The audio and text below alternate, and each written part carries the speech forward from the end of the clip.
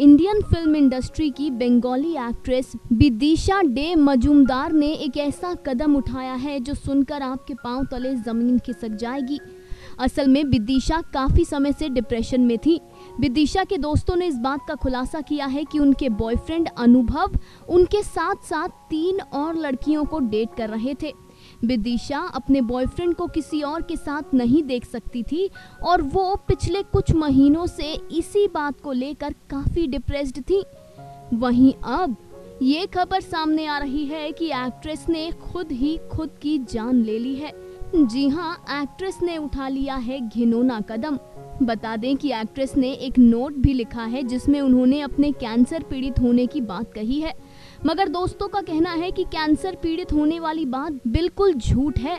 विदिशा अपने बॉयफ्रेंड को लेकर ही बेहद परेशान थी और उसी परेशानी ने विदिशा की जान ले ली। अजीब है ना?